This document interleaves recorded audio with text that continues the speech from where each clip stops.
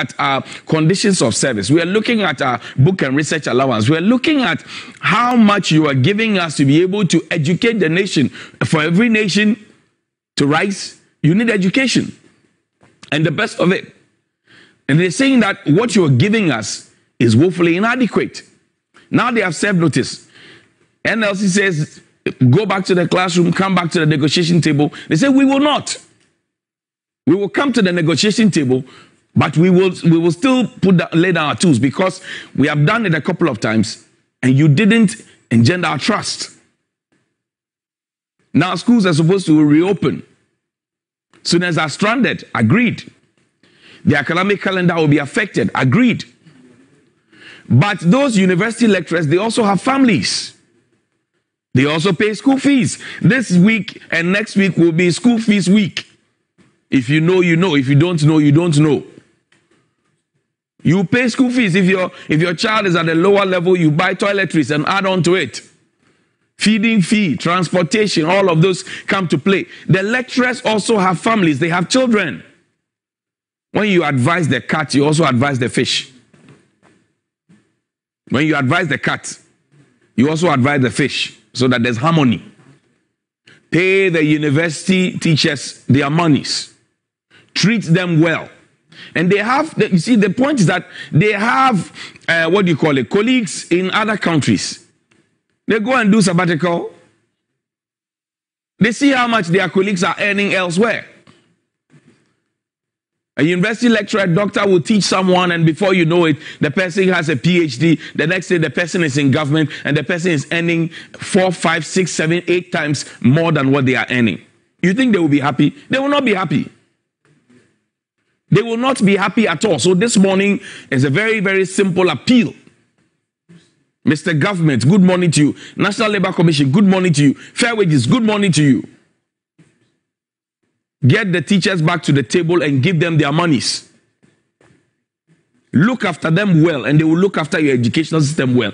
It, I say it doesn't add up if you you change curriculum, you want to improve, you want to digitize, you want to do all those things, and yet the people who will be the main change agents to make sure that whatever you have envisioned comes to play are not well taken care of.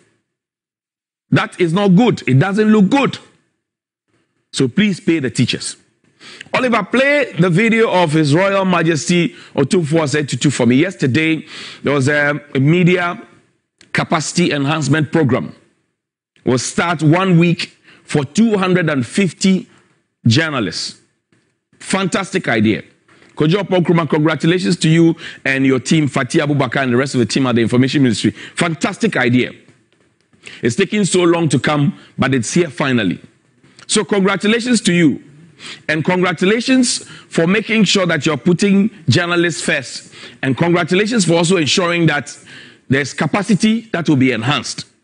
But beyond capacity enhancement, what else?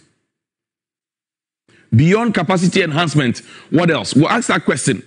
Play that video of His Royal Majesty 2482 for me.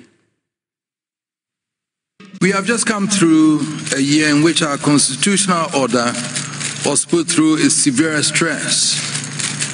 The commencement of work on the eighth Parliament of the Fourth Republic had not been in the most edifying tradition.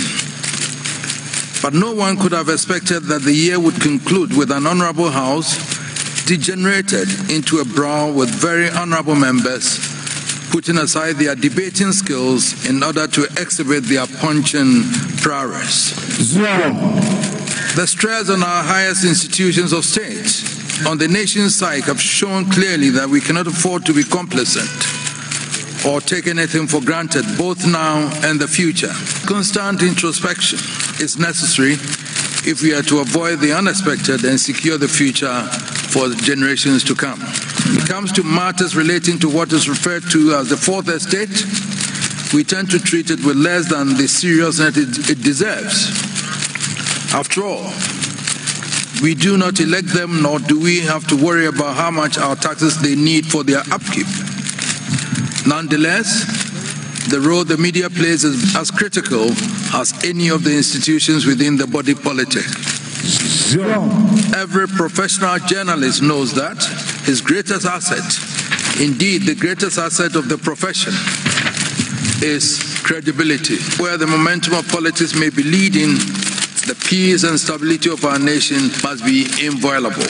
So, the media will be doing a great service to the nation and indeed to humanity if they can create an environment which encourages consensus building to help lower the causes of tension within the body politic. Thank you very much, Your Royal Majesty, and thank you to the Information Ministry as well. We are enhancing capacity. That's good. That we enhance capacity. But of what impact will capacity enhancement be if we have not properly looked at the ownership of media in this country? Ownership of media in this country. We are enhancing capacity, but the ownership of media. Because if I have capacity, my capacity is enhanced to the most optimal level. And the ownership of the media house that I work with will cave into political pressure. The ownership of the media house that I'm working for is only interested in making profit. The ownership of the media house that I'm working for only has political coloration. Of what impact would capacity enhancement be to me? That's the first one I want us to know. And you see, ownership of media in this country Check the NCA law. Check all those ones. It says that the media house holds or the press holds the, the, the spectrum in trust for the people. It belongs to the it belongs to you, the people. The only thing the media houses own are the cameras and the lights and the microphones and all those other things. But the network is for you. So, yes, capacity will be enhanced. But of what impact will that capacity have if the media ownership is not looked at? Check the ownership of media these days. And you're wondering why journalists cannot speak up. Check the ownership of media. Politicians have taken over. Politicians have taken over. Some have more than three, four, five, six media houses. They've taken over. So when they wake up, they have a certain political agenda that they are feeding into the minds of the people. You will enhance capacity. That is a good thing. 250 journalists. I salute you. But have we also looked at it? Because it is not just capacity enhancement and to create the impression that, oh, our people don't have capacity and that is why they cannot do. If I have capacity and then the ownership of the media house that I work with is caving into political pressure, the ownership of the media house that I work with has become an appendage of a political party, how do you expect that the capacity will play out? How will the capacity play up? The second thing is about remuneration, pay. I know that most journalists will not say it. Me, I'll say it. Can you? How much are journalists paid in this country? Considering the high risk job that they do. The president in 2019 was with us at a beautiful dinner telling us about press freedom. We have since dropped so many times on the press uh, uh, press freedom index. We have dropped. On the 3rd of May, we were, we were there. We were all uh, eating fine dinner with the president. He was telling us about press freedom and all of that, that he would rather like a, a noisy media as opposed to a timid and praise-singing media and all of that. Oliver, pull up that um, the, the, quote from the president from 2019. He was telling us the World Press Freedom Day was celebrated here at Kempinski Gold Coast Hotel. I was there. Just when the president was telling us that a few hours later, a journalist was being beaten at the NPP headquarters. The party didn't say anything about it. The government said nothing about it until journalists threatened that they were going to boycott NPP activities. And then the party spoke about it. We saw same on the NDC.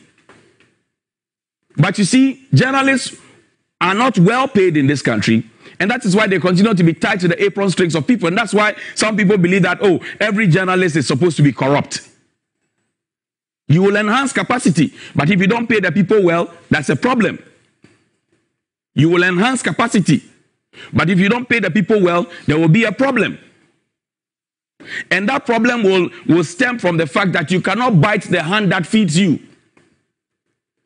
If you go to the GIJ or to Legon, wherever it is, and you get a degree, and you decide to join, say, the police, and you start with the officer corps, you're starting from the ASP. In four or five years, if you have good behavior, you have done your work very well, you get recommendation, you take your courses, you move to DSP, and, and on and on like that. You start at uh, lieutenant and you move on to captain, that kind of thing. What is the promotion rate for journalists in this country? And how much is the average journalist paid in this country? Let's call a spade a spade. How much are, are journalists paid in this country? Remuneration. How much are they paid? Looking at the high risk job that they do. Then it comes to the next point who gets hired?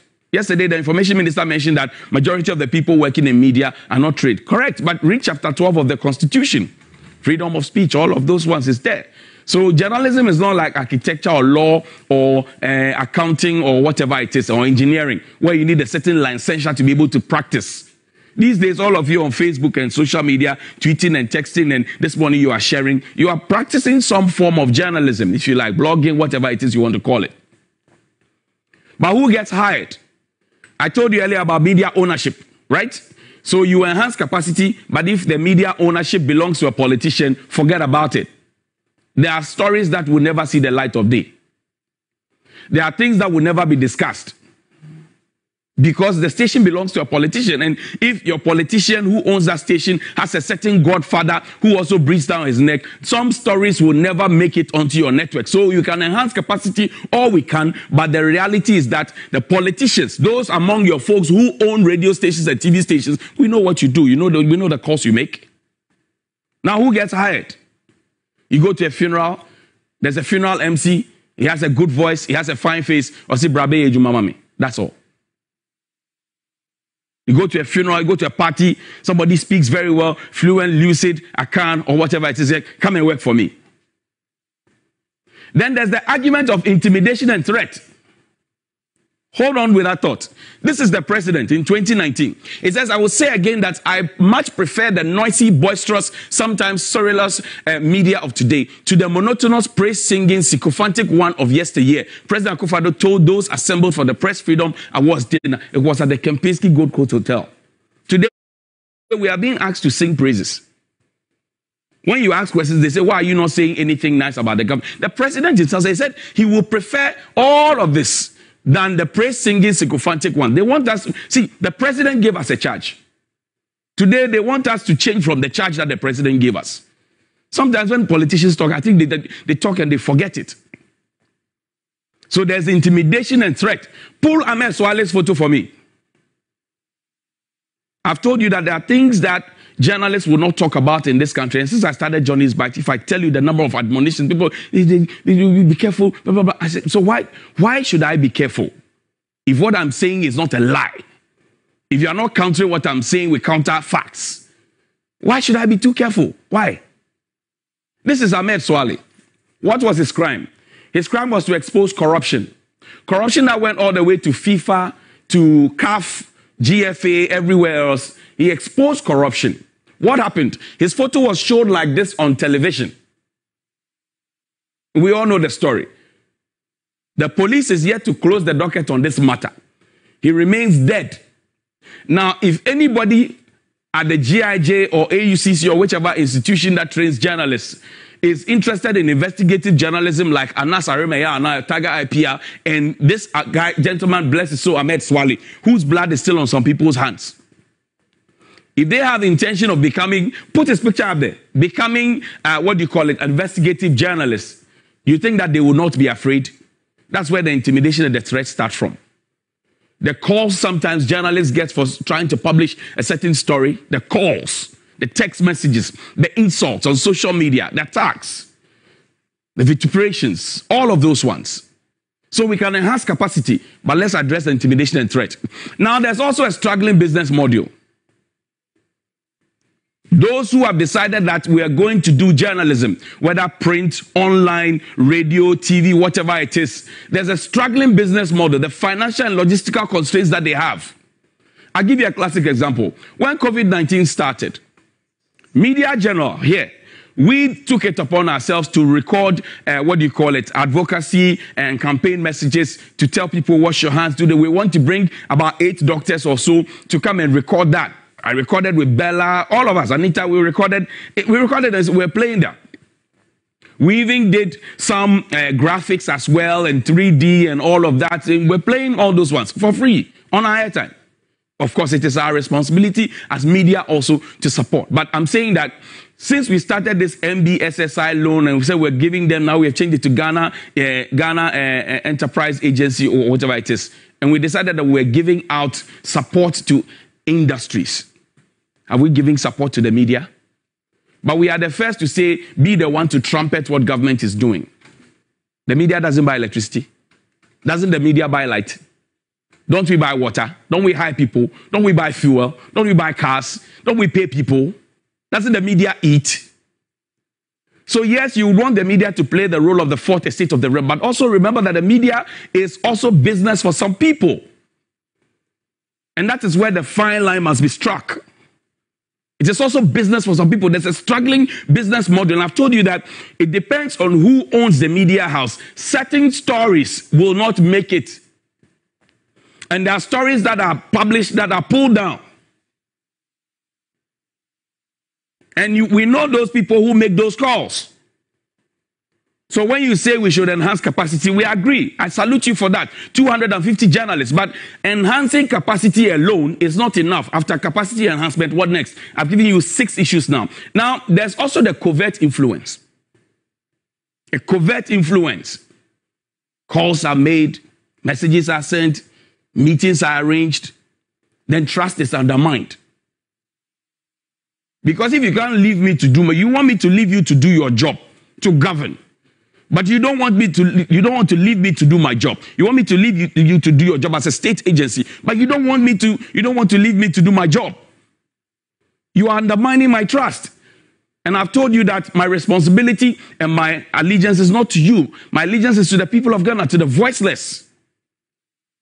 Today, a lot, more, a lot of my media colleagues are quiet because I've told you earlier if your salary is not good and somebody is contributing to your rent, somebody is paying your school fees, somebody is taking care of your children for you, and the person is a politician or somebody, eh, somebody in an influential position, would you go and buy the hand that fits you? No. So yes, we'll enhance capacity, but after capacity enhancement, are we going to talk to media houses to pay their people well? Are we going to support them uh, with the financial and, and business constraints? Are we going to look at those ones? That's what I'm looking at. Can the media be considered as one of the freest, even though Ghanaian journalists are unable to tell the whole truth in most cases? What is the way out? Not all journalists in this country are corrupt. Let that sink in. I said, not all journalists in this country are corrupt. And not all media houses have been captured as being corrupt. The likes of the Kweku Baakos who didn't go to mainline journalism school but practice on the job and have become an example for many to look at. We can also start with these 250 that we want to enhance in terms of capacity. But there are journalists and entire newsrooms that continue to push and expose corruption and rot in high places.